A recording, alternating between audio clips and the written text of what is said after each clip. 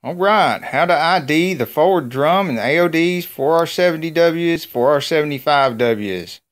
These come in the Ford trucks, Mustangs, Lincolns, stuff like that.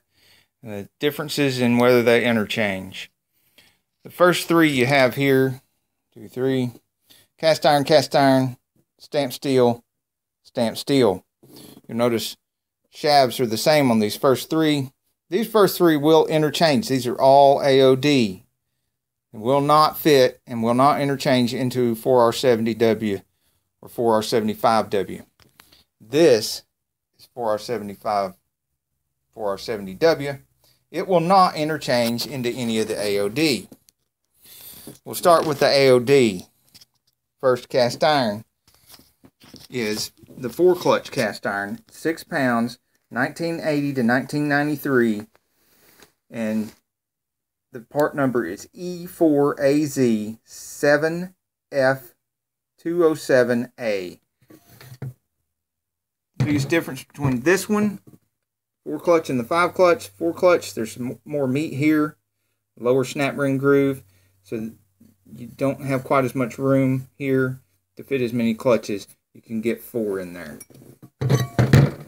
The five clutch, you see there's more room here, higher snap ring groove, a bit less meat here at the top.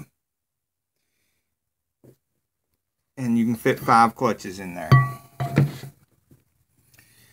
Then, in 1989 through 1993, while these were still being produced and put in the AODs, you also had the option of the stamped steel drum, which has the high snap ring groove and will fit five clutches. That part number is FOSZ7F207A, and it is five pounds. And that's a full pound lighter than these cast iron drums. All these input shafts are the same,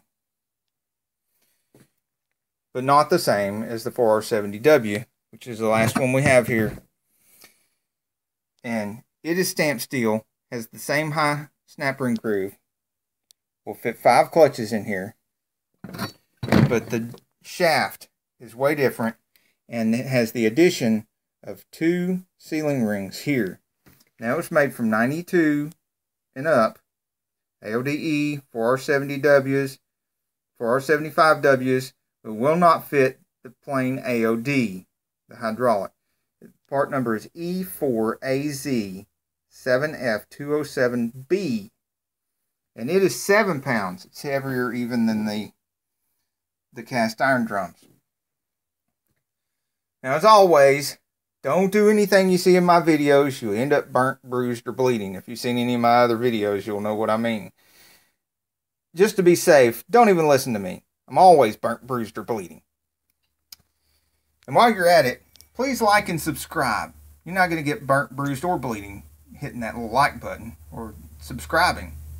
Matter of fact, if you do get burnt, bruised, or bleeding, hitting that like button, you put a comment down here and let us know how you hurt yourself hitting the like button because we need to know so we don't do what you do. And you can also find us on Facebook or saneauto.com. Have a great day.